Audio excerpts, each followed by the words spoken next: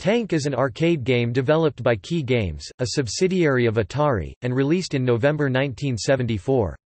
It was the only original title not based on an existing Atari property developed by Kee Games, which was founded to sell clones of Atari games to distributors as a fake competitor prior to the merger of the two companies. In the game, two players drive tanks through a maze viewed from above while attempting to shoot each other and avoid mines, represented by X marks, in a central minefield. Each player controls their tank with a pair of joysticks, moving them forwards and back to drive, reverse, and steer, and firing shells with a button to attempt to destroy the other tank. The destruction of a tank from a mine or shell earns the opposing player a point, and tanks reappear after being destroyed. The winner is the player with more points when time runs out, with each game typically one or two minutes long. Tank was designed by Steve Bristow, who had previously worked with the founders of Atari on Computer Space, the first arcade video game, and was developed by Lyle Rains. It was created as part of Bristow's vision to move the company away from only producing copies of Atari's games into also developing original titles. The game's cabinet was designed by Peter Takaichi. In September 1974, Atari announced a merger with Kee, which went into effect a month after the release of the game. The game was commercially successful, selling over 10,000 units and buoying Atari's then troubled finances. It led to a cocktail cabinet release of the game and to four sequels, Tank 2 1974, Tank 3 1975, Tank 8 1976, and Ultra Tank 1978. A dedicated console version of Tank 2 was announced in 1977 but cancelled later that year. The joysticks for the game, however, became the standard joystick controllers for the Atari 2600 1977. Variations on the game were included in the Atari 2600 game Combat, as well as in the Coleco Telstar game Telstar Combat, both in 1977.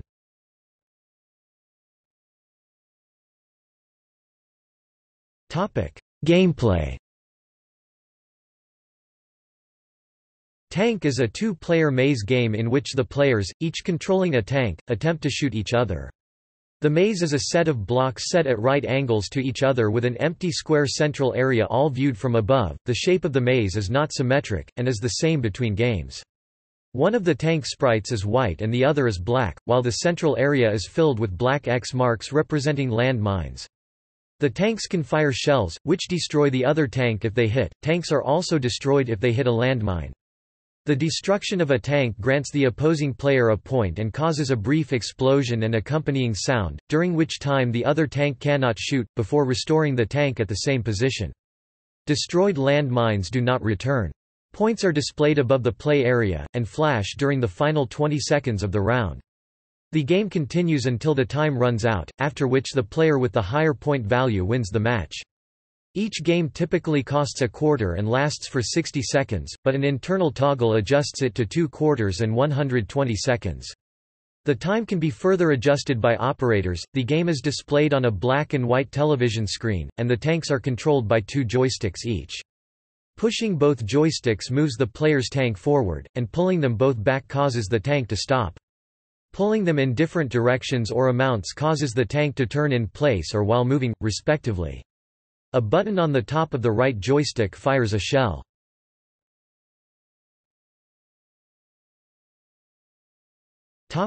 Development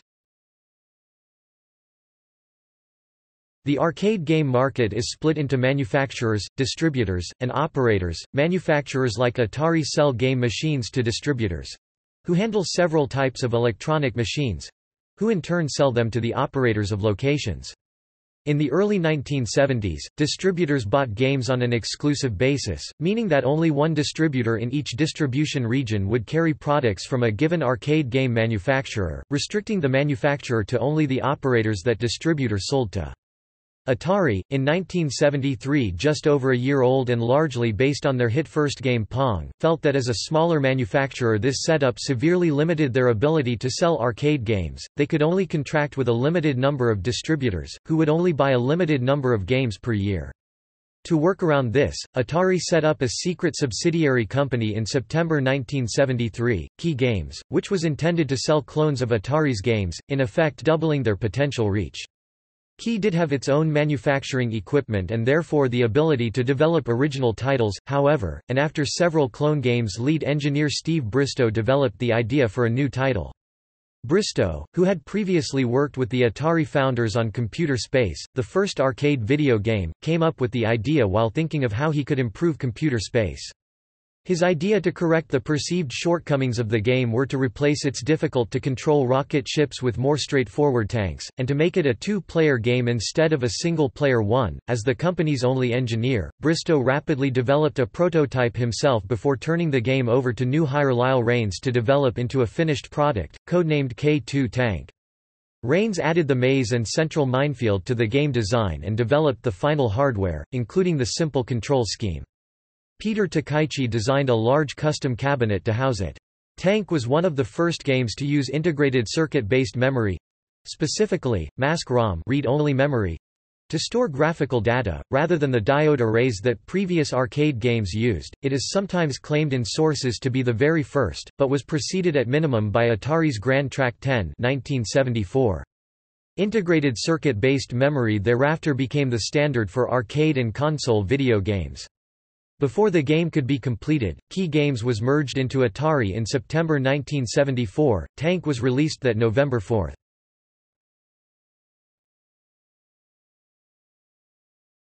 Topic: Legacy. Tank was a commercial success and is credited with buoying the finances of the newly merged Atari at a critical time for the company. It sold over 10,000 units, considered a large hit at the time, though Ralph H. Baer claims that was only the 1974 sales, with a further 5,000 sold in 1975. Atari produced a second version of the game, a cocktail cabinet form in which the two players sat across a circular table from each other. A sequel, Tank 2, was released in 1974 to sales of around 1,000 units. Gameplay was identical, though the maze could be changed to a new format by modifying the circuitry and more sound effects were added. It was followed by three further sequels, Tank 3 in 1975, the first game to be third in a series, The Color Tank 8 in 1976, which featured eight tanks and players simultaneously, and Ultra Tank in 1978, which reverted to a two-player black and white game with the ability to select multiple different maze types and have invisible tanks. A dedicated console version of Tank 2 was announced by Atari at the Consumer Electronics Show in 1977, but was cancelled by the end of the year. The joysticks for the game, designed by Kevin McKinsey, became the standard joystick controllers for the Atari 2600 1977. The Atari 2600 game Combat, released in 1977, includes several variations of tank, including ones with bouncing shots or invisible tanks. Combat was initially developed as a console version of the arcade game, like the cancelled dedicated console version, with additional plane-based game modes added during development. Despite Atari's cancellation of the dedicated console version of Tank, a dedicated console game inspired by Tank was still released in 1977 by Coleco. The Telstar game Telstar Combat plays four variations of Tank, and was released prior to the Atari 2600 and Combat.